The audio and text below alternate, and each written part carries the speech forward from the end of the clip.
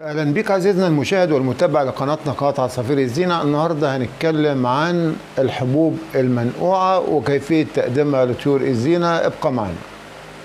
في ظل ارتفاع أسعار الحبوب البلكم والفلارس والدنيبة وغلو أسعار طعام الطيور آه، تنشأ الحاجة إلى الحبوب المنقوعة كنوع من الأكل الطري والرخيص في نفس الوقت واللي بيسهل وبيرفع عن عاتق المربي والهاوي التكلفة الباهظة لأسعار الحبوب. ومن هنا بتيجي أهمية آه، الحبوب المنقوعة.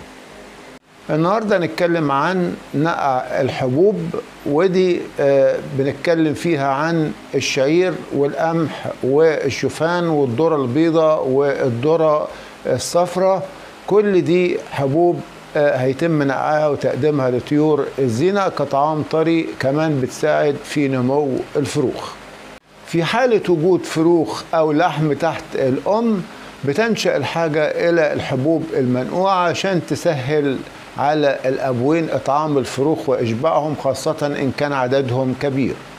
طريقة عمل الحبوب المنقوعة بتتلخص في تنقية الحبوب من الشوائب وغسلها جد جيد جدا من الأتربة باستخدام ماء نظيف وغمرها بضعف حجمها من الماء وتركها لمدة يوم كامل منقوعة في المياه. أثناء نقع الحبوب بالماء يتم تغيير الماء كل ست ساعات لتجنب تكون فطريات أو سموم على الحبوب المنقوعة والتي قد تؤذي الطائر وتؤدي لمشاكل بجهازه الهضمي زي الإسهال والإمساك.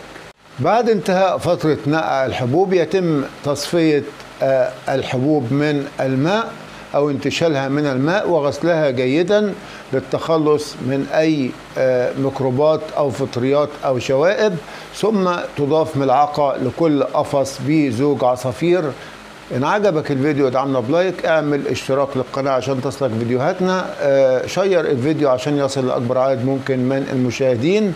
آه، بيساعدنا إن أنت تشترك في قناتنا ده شرف كبير لينا. هنجاوب على كل الأسئلة والاستفسارات. اللي هتصلنا إلى اللقاء في فيديو آخر. صبر أمين من قناة عصافير الزينة.